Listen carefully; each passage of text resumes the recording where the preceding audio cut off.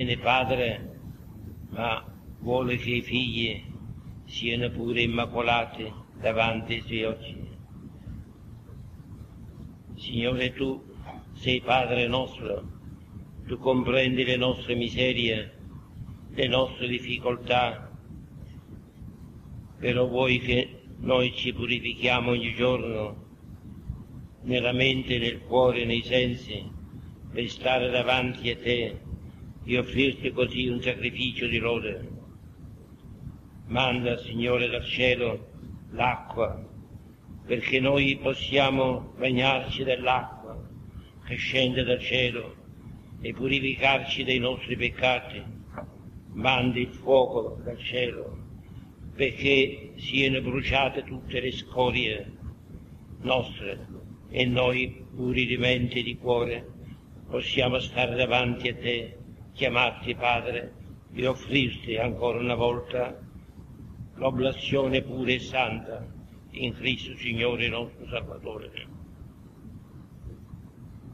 Spirito,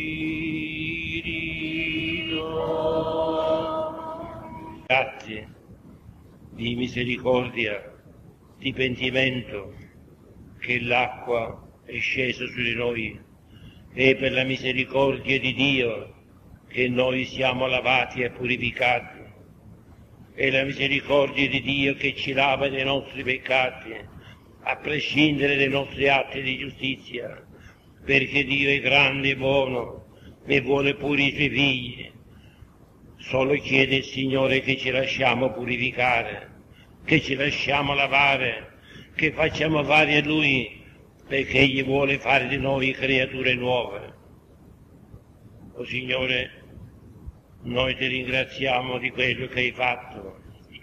O Padre che dall'agnello immolato sulla croce fai scaturire le sorgenti dell'acqua viva. O Cristo che rinnovi la giovinezza della Chiesa nell'avacro dell'acqua con la parola della vita. O Spirito che dalle acque del battesimo ci fai riemergere come primizia dell'umanità nuova. O Dio che raduni la tua Chiesa, sposa e corpo del Signore, benedici il tuo popolo, benedici tutti, piccoli e grandi, in questo momento, e ravviva in ciascuno di noi per mezzo di quest'acqua, il gioioso ricordo della santa, della santa giornata in cui ricevemmo il battesimo e nascemmo vita nuova. Te lo chiediamo per Cristo nostro Signore. Amen. Madre dell'umanità, Madre della Chiesa, luogo di salvezza, Madre dell'umanità, perché tutta l'umanità è chiamata ad essere l'umanità di Cristo, il corpo di Cristo, e Maria è la madre di tutti gli uomini. E innanzitutto la madre nostra, la madre di coloro che credono nel Cristo, perché sono i credenti che sono nell'ambito della salvezza. Chi crederà sarà salvo. E la madre dei credenti, lei che fu la prima a credere, beata te che hai creduto, diceva nello Spirito Santo Elisabetta a Maria. E beati noi che come Maria abbiamo creduto, perché per noi si adempirono come per Maria le promesse di Dio, la promessa della salvezza in Cristo Signore. Però Maria è la madre di tutta l'umanità, o altre pecore che non sono di questo vine, ed anche questo io devo condurre, perché sia un solo vine e un solo pastore. Ed è Maria che questa mattina ribadisce questo piano divino e ribadisce il suo posto nell'attualizzazione di questo piano. Lei la madre di Cristo, lei che ha ricevuto lo Spirito di Cristo, lei proprio in collaborazione con lo Spirito deve richiamare a Cristo tutta l'umanità perché tutti gli uomini effettivamente ricevono la salvezza, perché questo è il disegno del Padre quando ha mandato il suo figlio nel mondo. Egli ha mandato il suo unigenito del mondo non perché il mondo si danni, ma perché il mondo si salvi per mezzo di lui. È a questo piano che noi dobbiamo collaborare insieme con Maria, noi chiamati dallo Spirito Santo a pregare e a lottare. Come possiamo noi inserirci in questo piano? Pregando. La preghiera ottiene più che l'azione. Dobbiamo pregare molto per la conversione del mondo, innanzitutto per la riconversione dei cristiani a Cristo Signore, perché il mondo cristiano non crede più. E la grande debolezza che noi abbiamo di fronte ai nemici che credono di più nella loro religione che non è quella vera, per cui noi siamo indeboliti all'interno. Dobbiamo perciò pregare per irrobustire la nostra fede cementare la nostra carità, perché la carità che rende testimonianza che Cristo è in mezzo a noi e alimentare la speranza, riponendo non nei beni terreni la nostra attenzione, ma nei beni ultraterreni, non nei valori materiali, ma nei valori spirituali dell'uomo. Maria deve essere con noi per riconquistare i cristiani a Cristo, perché si sono infiltrati in mezzo a noi tante dottrine erronee, tanti costumi perversi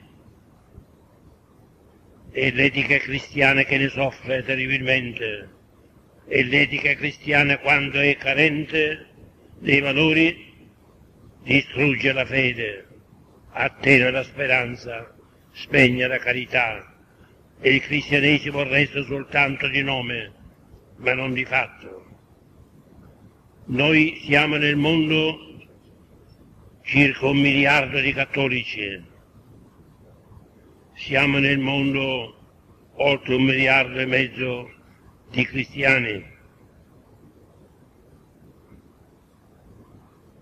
ma dietro di noi ci sono altri ci sono i musulmani che sono un miliardo e duecentomila, hanno superato noi cattolici, non hanno superato i cristiani messi insieme. Ma ricordo sempre, lo voglio ricordare perché rappresentano un pericolo grande per la fede nostra cristiana per la civiltà stessa cristiana. Perché se si va meno di Cristo noi siamo un terreno fertile per loro, siamo un terreno aperto per loro.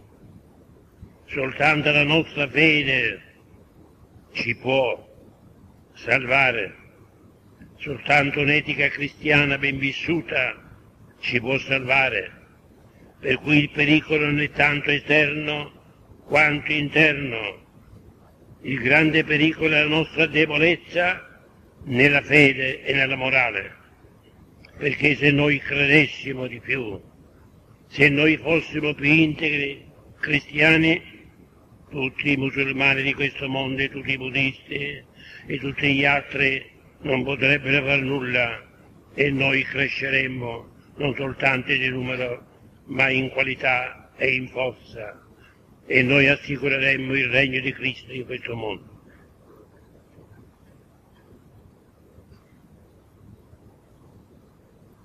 Dobbiamo perciò pregare, noi rinnovati nello Spirito, perché quanto ottiene la preghiera non ottiene la nostra azione. Pregare incessantemente perché i nemici non abbiano a prevalere su di noi. Non sono nemici con le armi in mano, ma sono nemici nello spirito. E se lo spirito non è pronto, se il nostro cristianesimo non è valido, e allora i nemici potranno avere ragione su di noi. E per nemici intendo tutti quanti quelli i quali sotto l'azione del maligno incidono la fede cristiana e la vita cristiana, ma intendo anche parlare di quella massa di popolo che noi chiamiamo musulmani, i quali credono nell'unico Dio, credono anche e venerano la Madonna nostra Madre, perché Madre di Cristo, il grande profeta, ma non Dio, i quali rappresentano un pericolo per noi non tanto perché loro scendono in mezzo a noi, sono presenti in mezzo a noi, quanto perché noi siamo deboli nella fede e nella osservanza dei precetti cristiani. Ed è la nostra debolezza il vero pericolo, non è la loro presenza. Però la loro presenza è pericolosa per noi appunto per la mancanza di fede, per la mancanza di etica cristiana veramente vissuta. Dobbiamo pregare. Almeno da questo dobbiamo prendere esempio da questo popolo che prega molto noi ci, noi ci sentiamo un miliardo di cattolici, ma quanti cattolici vivono la fede cattolica nella preghiera? Quanti cattolici pregano e osservano quanto i musulmani pregano e osservano? Se è vero che noi siamo una percentuale più alta di loro come cristiani, però come osservanza loro sono di gran, numero, di gran lunga superiori a noi, e cioè gli osservanti della legge, gli osservanti della preghiera, gli oranti loro sono in maggioranza, mentre gli oranti presso di noi, gli osservanti dei comandamenti, sono in povera minoranza. Ecco perché le cifre non rendono bene la situazione in cui noi ci troviamo. Ed è la preghiera la loro forza. Noi invece non preghiamo più. Noi siamo stati suscitati dallo Spirito Santo per pregare. I nostri gruppi sono gruppi di preghiera. Perché la lode e la preghiera è ostacolo il nemico. Perché dietro tutta questa massa che avanza c'è il nemico che avanza per contrastare il regno di Cristo, la discendenza dalla donna. E dobbiamo lottare, dobbiamo lottare con la nostra fede e con la nostra etica cristiana. La prima lotta, come vi dicevo, è pregare a noi sembra che la preghiera sia quasi un, un tempo sottratto alla lotta, non è così, è un tempo di lotta qualificata.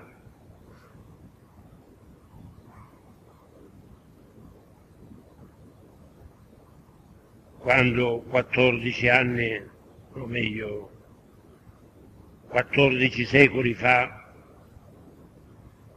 il sceriffo Oman occupò Gerusalemme e diventò terra musulmana, però si rispettava ancora il luogo cristiano, San Sofronio, padre della Chiesa,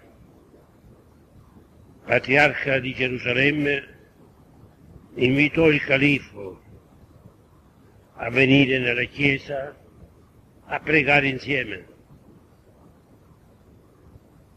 E il califfo si rifiutò cortesemente, dicendo guarda, patriarca Sofronio, se io metto piede in chiesa, nella vostra basilica, e pregherò con i miei fedeli, quella terra diventa mia. Perché dove io prego, dove i musulmani pregano, qui quella terra diventa santa e diventa terra nostra. È una mentalità che si portano. Il luogo dove si prega diventa terra musulmana. Tutte le moschee che si erigono in Italia, e sono ormai circa cento moschee, quelle moschee sono terra musulmana nella mentalità, non sono chiese erette in terra straniera. Quando noi fabbrichiamo chiese in terra straniera quella terra resta di quella nazione. Invece nella mentalità musulmana la moschea, ossia il luogo dove si prega, dove si stende il tappetino anche per le strade, quella terra in quel momento diventa terra santa, terra di loro. È una conquista della terra. Ecco perché i pericoli appunto in una mentalità radicata in loro e in una debolezza di fede presso di noi. Dobbiamo lottare, lottare per conservare integra la nostra fede, soprattutto ribadire la centralità di Cristo, vero Dio, vero uomo, centralità che viene oggi attaccata in Occidente da tante dottrine erronee e che si è indebolita anche presso di noi.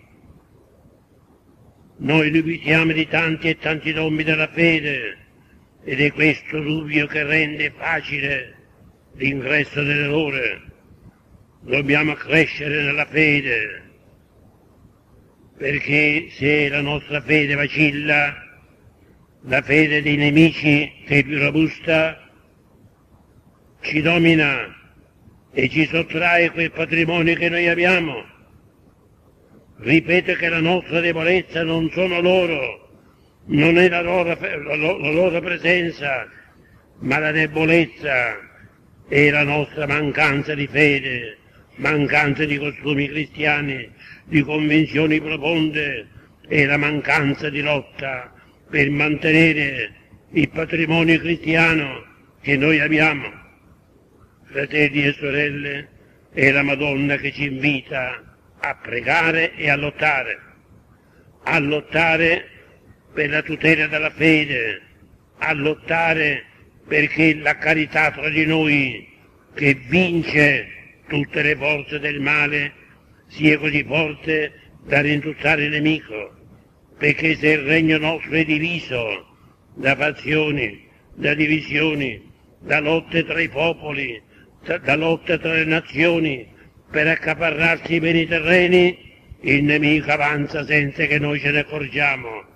E un giorno ci vedremo terra straniera, ci vedremo così di una religione nuova, la religione che avanza d'altro canto, la riesce, siamo, di, siamo, corriamo il pericolo di essere acquariani, di essere neopagani con una verniciatura di cristianesimo, qui è il grande pericolo per cui dobbiamo lottare, lottare per mantenere la fede, mantenere la speranza in Cristo Signore, mantenere salda la carità tra di noi.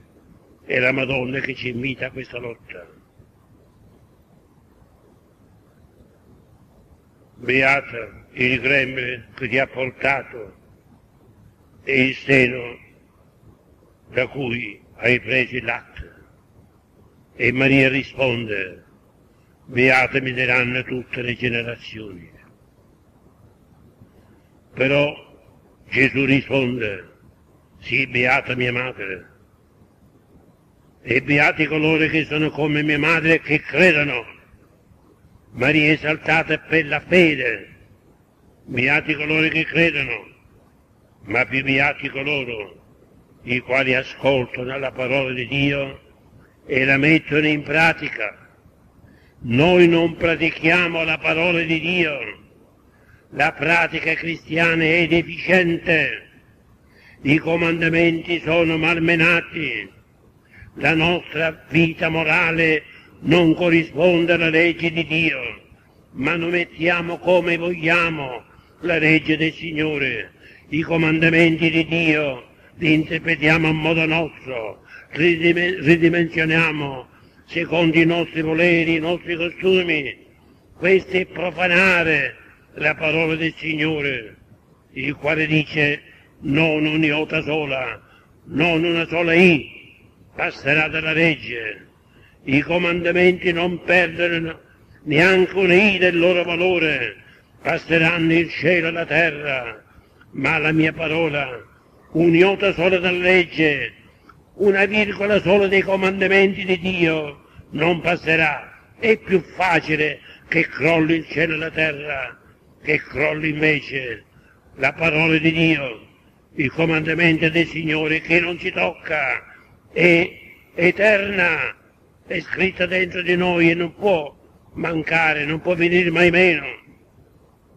Chi siamo noi che manipoliamo la parola di Dio, demoliamo la parola di Dio, la adattiamo ai nostri pensieri, ai nostri costumi, al nostro modo di volere di vivere, profanatori della parola di Dio, altro che ascoltatori, ridimensionatori, tagliatori della parola di Dio, altro che osservanti della parola del Signore.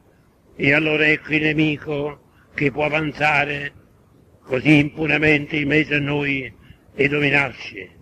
I danni non li vedremo oggi, li vedremo domani, ma noi invochiamo Maria, nostra Madre, perché risvegli in noi la fede.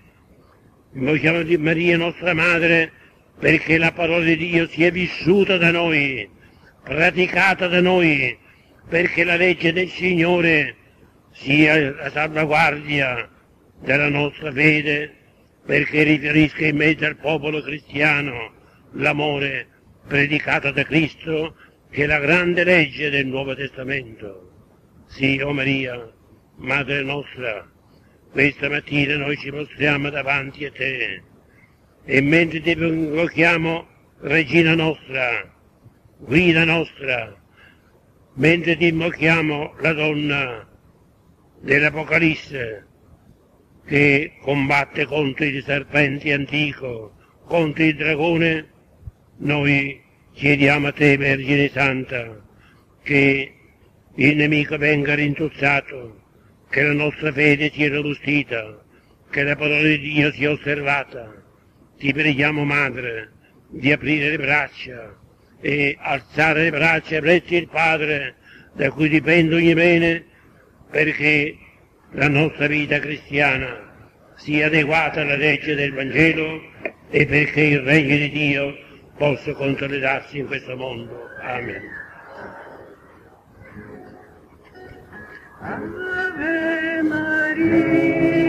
Che ripeto, non è, non sta il pericolo nella presenza di loro in mezzo a noi, perché possono insegnarci tante cose. Sono nato a pregare, ma il pericolo è nella nostra debolezza, non nella loro presenza. Chiediamo al Signore perché il nostro popolo occidentale, che geneticamente, finanziariamente è più debole,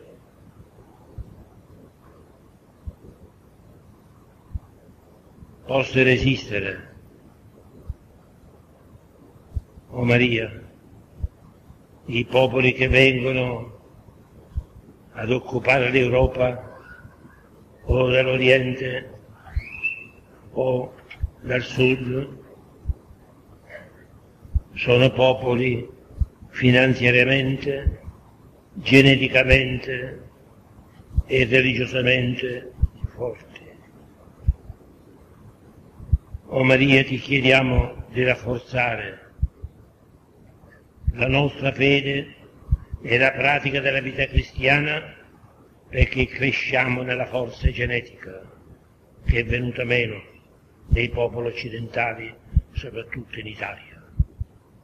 Ti chiediamo, Maria, di crescere nella distribuzione equa dei beni, in modo che tutti possiamo avere il necessario alla vita.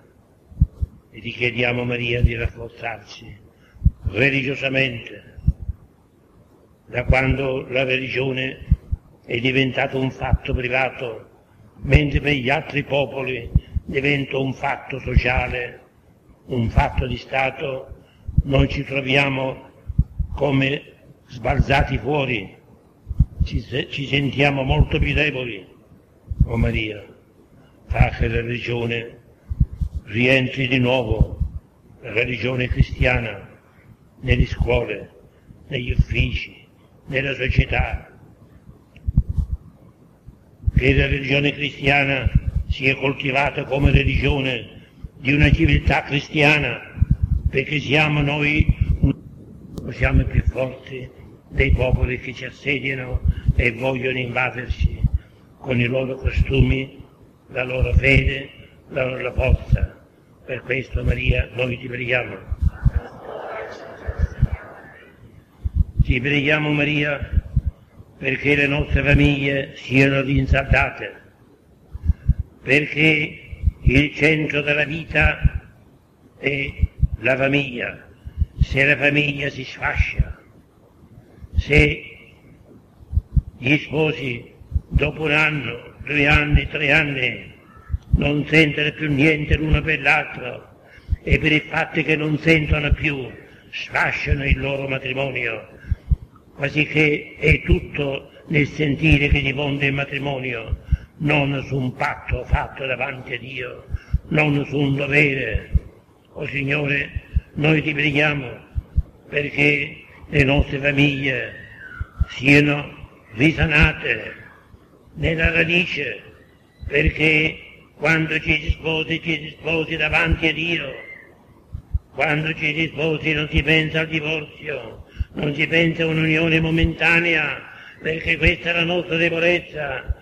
O oh Maria ti chiediamo, salva le nostre famiglie fin dal loro nascere, salve le radici della società cristiana che sono appunto le famiglie e il matrimonio, l'amore di coppia che è un amore eterno, perché ci si unisce davanti a te e il matrimonio lo fai tu, Signore, tra un uomo e una donna, non lo fa soltanto un uomo e una donna. E quando manchiamo di fede tra di noi, uomini o donne, sposi, manchiamo non soltanto tra di noi, ma contro di te, perché sei tu che sei a presidio dello sponsorizio e del matrimonio cristiano. Per questo noi, Signore, Vergine Maria, ti preghiamo. Salvo Maria le nostre famiglie, salvi i nostri figli che sedotti da un mondo che ci circonda, da una scuola che non regge più, da istituzioni che non reggono più religiosamente, fa che i nostri figli non siano preda di dottrine erronee, di costumi perversi, di vizi, di droghe, di deviazioni morali. Per questo, o oh Maria, noi ti preghiamo. ti preghiamo Maria per la nostra salute, perché tutto questo non va a favore della nostra salute, né spirituale, né psicologica, né fisica, perché tante malattie oggi imperversano, appunto per questi mali spirituali non attiriamo la benedizione di Dio e noi stessi ci indemoniamo. E la debolezza che si estende a tutto l'uomo apre le porte a tutte le malattie, apre le porte a tutte le defezioni, a tutte le debolezze, debolezze spirituali, debolezze psicologiche, debolezze fisiche. O Maria, salva la nostra salute. Per questo noi ti preghiamo. E adesso, fratelli e sorelle, ascoltiamo il gemito dei più colpiti, il gemito dei dolenti, i quali si raccomandano alla nostra preghiera, e accompagniamo queste intenzioni con la preghiera nostra, pregando insieme, perché è scritto, pregate gli uni per gli altri e sarete guariti.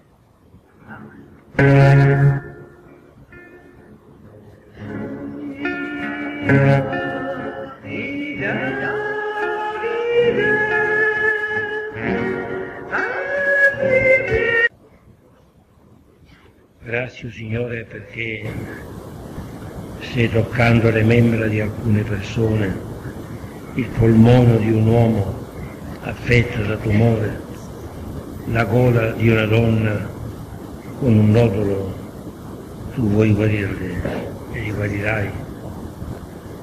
Ti ringraziamo Signore perché tu stai toccando l'inguine di due persone e guarirai queste due persone.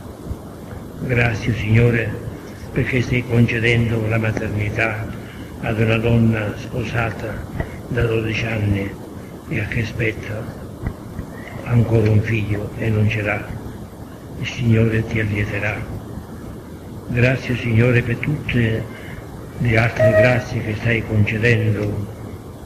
Ci sono molte guarigioni fisiche, ci sono guarigioni spirituali, c'è una guarigione psicologica di una persona che temeva e il Signore dice ci sono io, non temere più, io risolverò la tua sorte ed io ti guarderò dai nemici. Poi c'è un processo che volge al meglio per un carcerato da tanto tempo e che fa soffrire la famiglia. Nel prossimo processo la pena sarà alleviata, alcune istanze saranno così accolte e per un'altra persona ci sarà anche la liberazione da un reato non grave. Ma per questa persona, la prima, che ha un reato grave, ci sarà allevamento di pena per una modificazione di giudizio nella responsabilità. Chiediamo adesso al Signore di poterle benedire per tutte le altre grazie che Egli ci va concedendo. Irrobustiamo però la nostra fede in Lui, irrobustiamo la nostra carità tra di noi, perché nella fede in Lui e nella carità tra di noi che germogliano le grazie di Dio. Alleluia canto numero la vena da cui sgorga la sorgente, questa vena è Maria, una vena che scende dalla montagna di Dio e affiora qui sulla terra. Maria che come la radice piantata dallo Spirito Santo, Gesù è il germoglio ma la radice immacolata di questa pianta unica è Maria, piantata dallo Spirito Santo qui sulla terra, dall'Immacolato che pianta l'Immacolato sulla terra perché germoglia il Salvatore. Gesù è il germoglio di una radice piantata dallo Spirito qui sulla terra. E allora attingiamo a questa sorgente nata da Maria, alla sorgente del Salvatore, cogliamo e gustiamo il frutto di quell'albero di cui la radice è Maria, la vena da cui sgorga la sorgente, questa vena è Maria, una vena che scende dalla montagna di Dio e affiora qui sulla terra. Maria che come la radice piantata dallo Spirito Santo, Gesù è il germoglio, ma la radice immacolata di questa pianta unica è Maria, piantata dallo Spirito Santo qui sulla terra, dall'immacolato che pianta l'immacolato sulla terra perché germoglia il Salvatore. Gesù è il germoglio di una radice piantata dallo Spirito qui sulla terra. E allora attingiamo a questa sorgente nata da Maria, alla sorgente del Salvatore, cogliamo e gustiamo il frutto di quell'albero di cui la radice è Maria.